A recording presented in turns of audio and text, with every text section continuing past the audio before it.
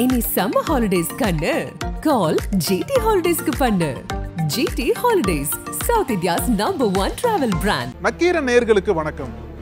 இந்தியாவில் நடக்கக்கூடிய ஒவ்வொரு தேர்தலுக்கு பின்னாடியும் பல வரலாறுகளும் நாம் அறிந்திராத பல தகவல்களும் இருக்கும். அந்த தகவல்கள் நம்மளுக்கு பல ஆச்சரியங்களையும் பல கேள்விகளையும் எழுப்பும். அந்த வகையில் வரக்கூடிய நாடாளுமன்ற தேர்தலுக்கு பின்னாடியும் ஒரு மிக முக்கிய வரலாறு இருக்கு. இந்தியாவில் திருவிழாக்கள் எப்பவுமே ஒரு நாளோட முடிய போறதில்ல.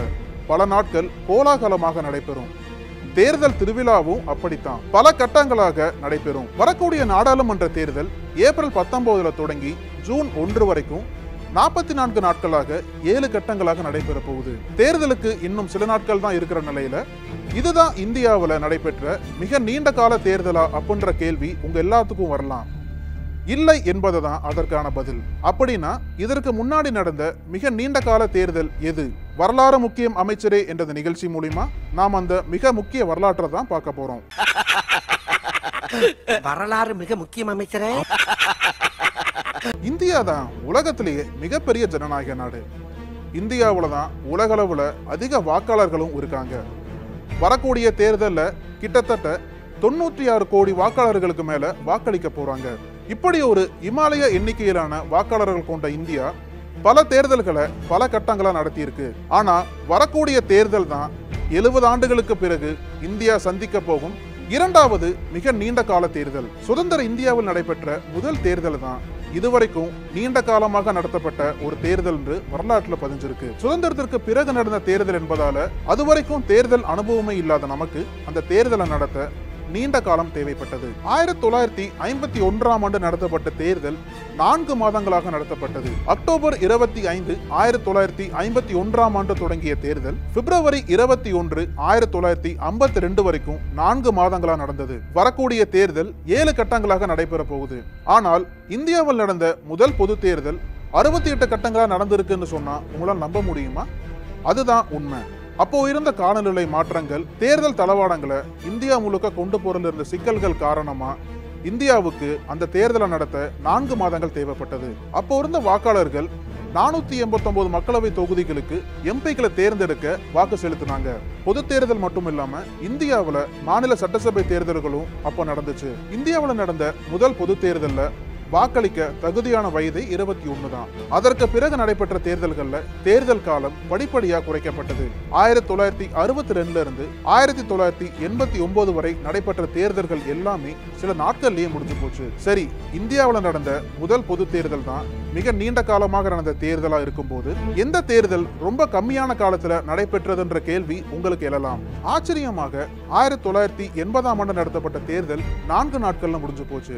ஜனவரி மூன்று ஆயிரத்தி ஆயிரத்தி தொள்ளாயிரத்தி எண்பதுல தொடங்கி ஜனவரி ஆறு ஆயிரத்தி தொள்ளாயிரத்தி எண்பதுல ஒட்டுமொத்த தேர்தலுமே முடிஞ்சு போச்சு. இந்த தேர்தலில் வெற்றி பெற்று இந்திரா காந்தி ஆட்சி அமைச்சாங்க.